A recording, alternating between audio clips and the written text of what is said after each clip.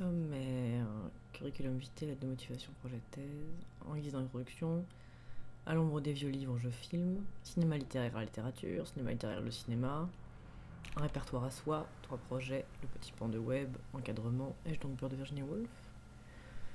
Bibliographie sélective, bibliographie sélective de recommandations, Véronique Aubry, François, extrait vidéo.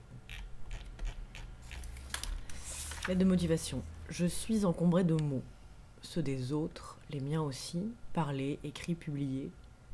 Ils s'agglomèrent autour de moi depuis l'enfance et ne migrent pas. Ils restent accrochés là comme des berniques. Je ne suis pas devenu écrivain. Je le voulais pourtant à 7 ans. Et fait. J'ai choisi la voie du cinéma à une époque où j'étais très solitaire, adolescente. Ce qui m'a décidé, à part la c'est de vivre sur le même projet. Au fil des années, je n'ai cessé de jongler avec la littérature en écrivant mes films. Toutefois, c'est en me lançant sur le film Océan, un peu d'écume autour des vagues, qui n'a pour tout scénario que le roman Les vagues de Virginia Woolf, que j'ai pris la mesure des enjeux du passage d'une écriture littéraire à une forme cinématographique. J'ai observé du même coup mon, mon, intérêt sans cesse renouvelé pour ces questions, sans cesse.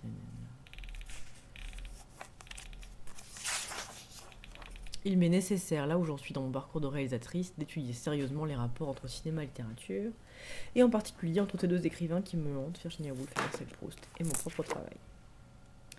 J'ai besoin de consacrer du temps de recherche, d'abord théorique puis pratique, à cette question, car si je ne la traite pas, elle me taraudera sans fin et s'immiscera dans mes projets, sans que je possède les outils appropriés pour m'en saisir ou la mettre de côté, reposer le livre dans ma bibliothèque.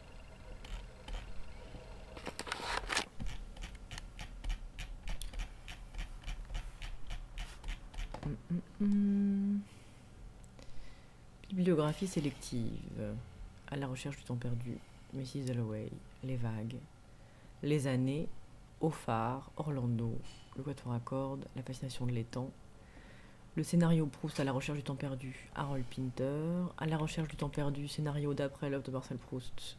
Lucchino Visconti et Suzo Cecchi d'Amico c'est une fiction de François Bon à la lecture, Véronique Aubouy, Mathieu Boulet, le cinéma et autres essais, Virginia Woolf, journée de lecture, Marcel Proust, etc.